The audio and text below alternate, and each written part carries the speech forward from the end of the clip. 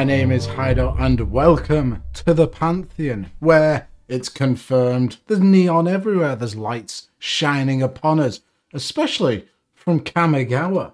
And here at Kamigawa, we've got a, sushi? At sushi. Delicious sushi. The Blazing Sky, 4 mana, 4 4 Flying Trampler. Nice Flampler. Dragon Spirit. When it dies, choose one. Exile the top two cards of your library until your next turn. You may play those cards. Or create three treasure tokens. Two excellent effects that we want on something when they're dying. You know, refunding some mana or digging us deeper into the deck. So really quite a cool mono red commander. I'm excited to see this sort of thing. And, you know, having the legendary dragon spirits back is really cool. You know, these are new ones. Uh, I think they've been reborn or something. I have no idea. I think most of them died, apart from Ryusei. I don't know. There's some lore implications, but it's cool to have them back. And do you know what else would be cool? if you subscribe to my channel. going to be making videos like this for every single legendary creature, so come and join me. And I think there's going to be quite a few in Kamigawa. Without further ado, let's have a look at my top five. In, in a number five, well, what do we have? We've got Release the Gremlins. This has been one of my pet cards for quite a while now. I love this card. And the reason is we're going to be having a lot of sort of treasure sort of usage. You know, our commander makes treasures when it dies. You know, even if it goes to the command zone, we're still going to get those treasures because it dies and then goes to the command zone because of the new rules. So we can use this to make our treasures into 2-2 gremlins or our opponents. So red and double X destroy X target artifacts. Create X 2-2 red gremlin creature tokens. So that could be for our opponents, you know, destroy all their artifacts, the Sol Rings, things like that. Or we could blow up our own. It's a great universal sort of card that we can use on anything. Yes, it's very mana intensive, but we're going to be making a lot of treasures. So even if we're not blowing up our own treasures, we're going to have a lot of mana to be making stuff like this. Really cool card. Then if we've got a lot of artifacts, well, you know, we got to have artifacts really, aren't we? All of our ramp will be artifacts, and we're going to have a lot of treasures knocking around.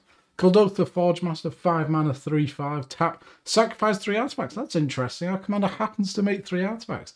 Search your library for an artifact card and put it onto the battlefield, then shuffle your library. Just go and get a Blightsteel Colossus, you know, just whatever big sort of threat you want.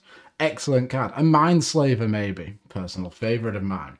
Then we got Krark-Clan Ironworks. When your treasures, you know, they're just not producing enough mana. Four mana for an artifact. Sacrifice an artifact. Add two colours, or two generic, to your mana pool. So those three treasures now make six mana. And this is amazing. It can really go big in this deck, you know. This, I'd sort of play this as a sort of ramp deck, you know, flop out your commander, Bit weird, weird wording, but you know, you can do it. And then we can use him to sort of sacrifice, get those treasures, and then play a big threat, maybe an Eldrazi, maybe a big artifact. And then if we're playing with artifacts and we've got artifacts on the field, let's get them back from the graveyard. Trash for treasure, three mana for a sorcerer, additional cast to cost the spell. No, there's additional cost to cast this spell. Sacrifice an artifact. Return target artifact card from your graveyard to the battlefield. So excellent for rebuying Mindslaver or something like that. We just sacrifice a treasure and bing bang bosh, we've got a great artifact on the field.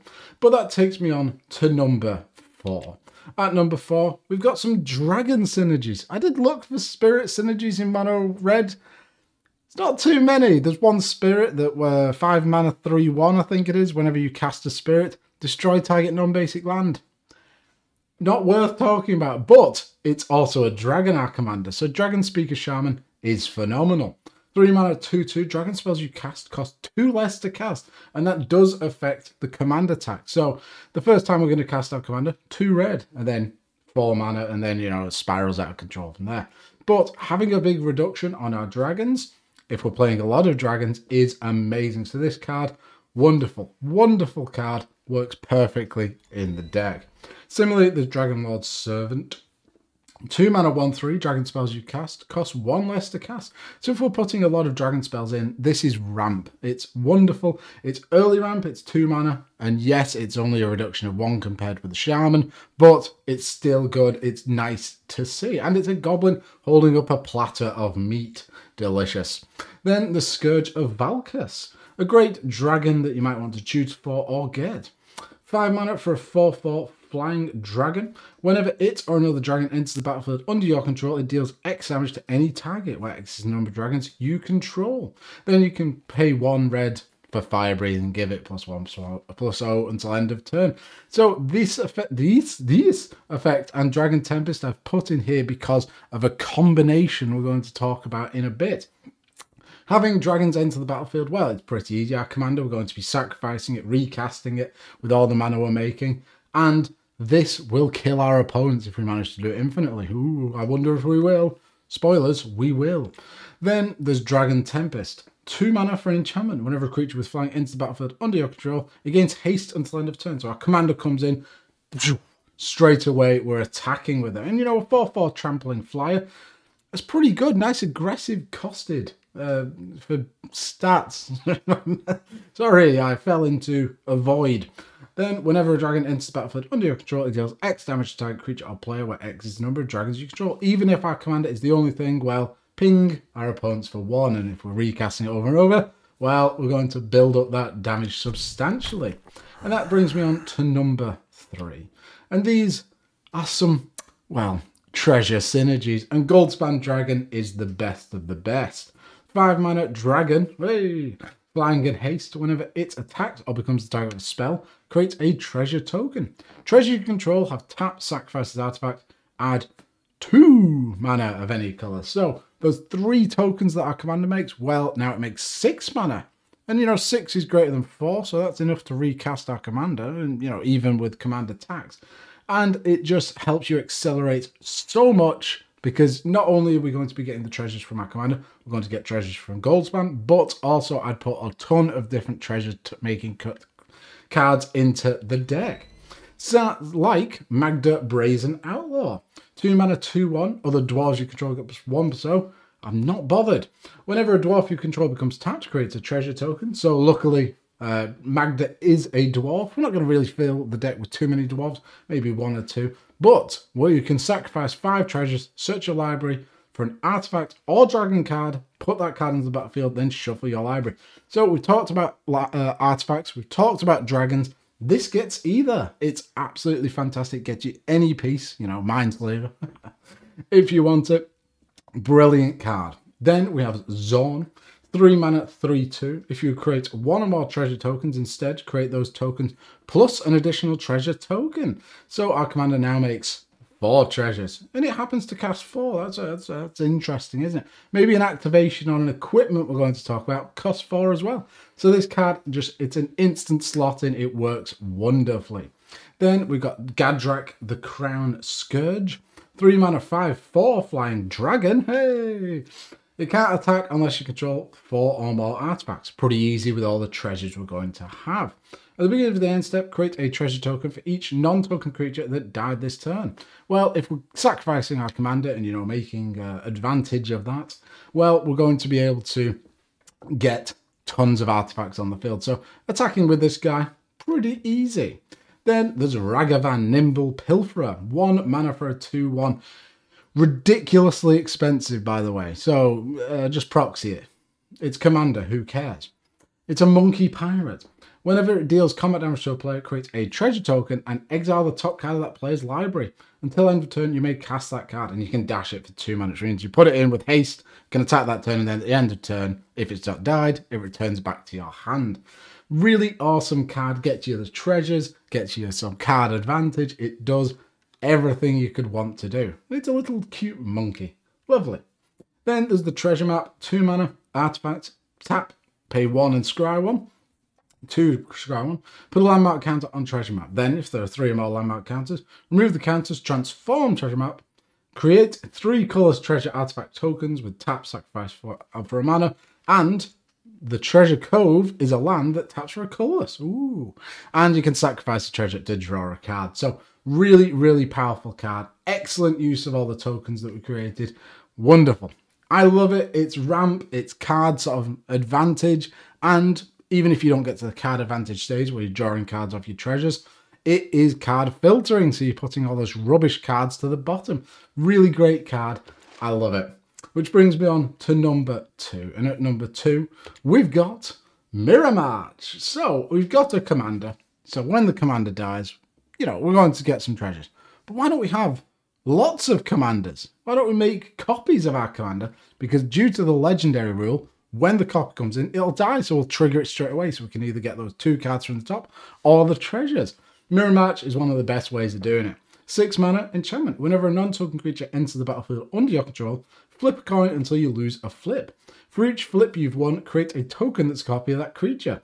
Those tokens gain haste, exile them at the beginning of the next end step. So if we win, win three coin flips in a row, well, that's either nine treasures or six cards from the top of our deck, or any combination of those two. This just generates so much value, and if we're going to be making sort of goldspan dragons, things like that, we can stack up their abilities, you know, get tons of treasures from them attacking. It just works well with everything. And, you know, the, the legendary rule really does usually get in the way of cards like this, but it actually adds to it because we're triggering that ability straight away. Similarly, we've got Delina Wild Mage. 4 mana, 3 2. Whenever it attacks, choose target creature you control, then roll a d20. Nice bit of randomness here. 1 to 14, create a tapped and attacking token that's a copy of that creature, except it's not legendary and it has exile this creature at the end of combat. So with this, we are going to have to have a sacrifice outlet on the field, you know, sacrifice our commander copy, because the legendary rule won't work. But you can get 15 to 20, create one of those tokens, and then roll again. So we could end up with thousands of copies of our commander if you know you rig your dice. This is wonderful. You know, our commander is a 4-4 trampling flyer, so potentially we could just end up killing someone with all those copies. But if we then sacrifice them after combat damage, well, oh, we're going to get tons of advantage, tons of treasures. Wonderful card. Similarly, there's Helm of the Host, 4 mana for equipment. Beginning of combat on your turn creates a token that's a copy of a quick creature, except that token isn't legendary if a quick creature is legendary. That token gains haste, equipped for 5. So we put it on commander. Yes, we have a non-legendary copy of our commander, but we can always sacrifice it, you know, sacrifice outlets. Always good. Then, using the legendary rule to our advantage is Blade of Selves. Two mana equipment, equipped creature has Myriad. Oh, what a mechanic Myriad is. Whenever it attacks for each opponent other than defending player, you may create a token that's a copy of that creature that's tapped and attacking that player or planeswalker they control. Exile the tokens at end of combat. So if you've got 23 opponents, you know, because obviously you're always playing 24 man commander, you're going to make 23 copies. No, sorry, uh, 22 because you're already attacking someone.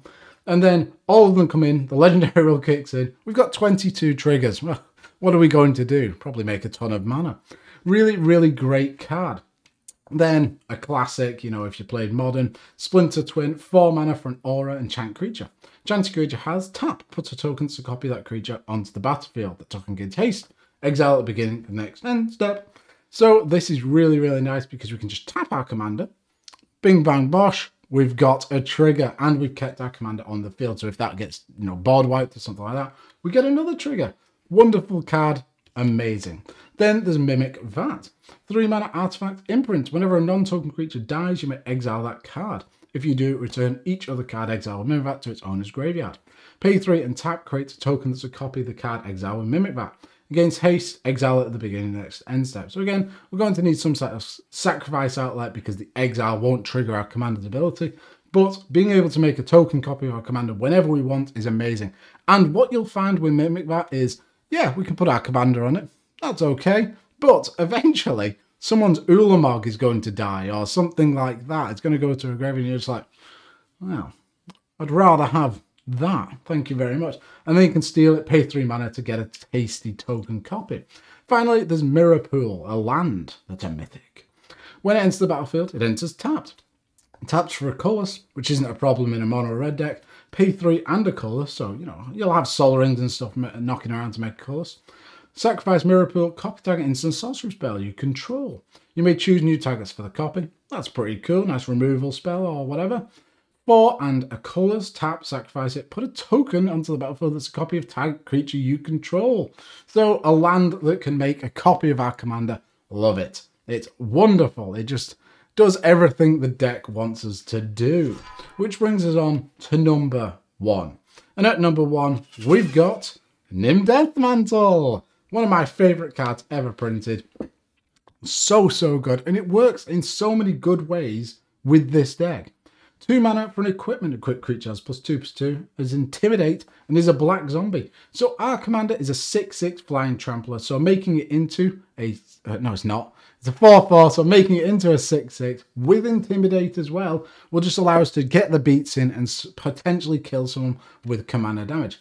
However, whenever a non-token creature is put into your graveyard from the battlefield, you may pay 4 mana. If you do, return that card to the battlefield and attach Nim Deathmantle to it. So if we've got a sacrifice outlet and we've got one of those things, you know, Goldspan Dragon or Xorn, that allows our commander to make four treasures or the treasures make six mana, we can activate that ability using those treasures, pay the four mana, and our commander comes back onto the field. Then we sacrifice it again, do it again and again and again and again and again and again and again and it just keeps spiraling out of control and we get infinite into the battlefield, infinite dies triggers, infinite mana potentially. It's such a good card and I love it. Ashnod's Altar, one of the best sacrifice outlets you can have. Three mana for an artifact sacrifice creature, add double colours to your mana pool. So with the three treasures that our commander is making, this allows us to actually make five mana, so we're going to be netting mana every time we sacrifice a commander and bring it back. And so once we've got infinite mana, you know, we've got 40 billion treasure tokens. I own that many tokens. They're in that cupboard behind me, actually. Um, what you can do is start exiling top cards of your library until you get to your win condition and then cast it, potentially a storm card. I don't know. You can win however you want, as long as you're actually winning. Then there's Greater Gargadon, another good sacrifice outlet that sacrifices artifacts. You know, I thought that was interesting because we're going to have a lot of treasures, so being able to sacrifice them is quite useful and, you know, get an effect. 8, 10, oh, 10 mana eh? for a suspend 10, 9, 7. Sacrifice an artifact creature or land, remove a time counter from Greater Gargadon. Activate this ability only if Greater Gargadon is suspended. So suspend is an ability, you pay one red to put it into exile, and then it ticks down and eventually you cast it with haste. But this is great for just sacrificing whatever you want. It can go wrong if your opponent steals your turn, if your opponent mind slavers you. Uh, you're going to end up with no lands, but it's not the end of the world, and it's just a great card. Then another great sacrifice outlet that sadly costs a lot of money Phyrexian Altar. Three mana artifact, sacrifice creature, add one mana of any colour. So along with the three treasures, it's going to make us four mana. Hey, it's the magic number. Nim Deathmantle can bring back our commander. And those are my top five cards for this new legendary Spirit Dragon. Really, really cool. I like Kamigawa. It's, um, it's always been a favourite sort of plane of mine. I didn't play during it, but the artwork and everything that, just so, I don't know, nostalgic. It just looks cool. And this new set, you know, who doesn't like, like a bit of cyberpunk? Thank you very much for watching. Hopefully you've enjoyed this video. If you have, please do like, comment, subscribe, and I'll see you soon. Bye.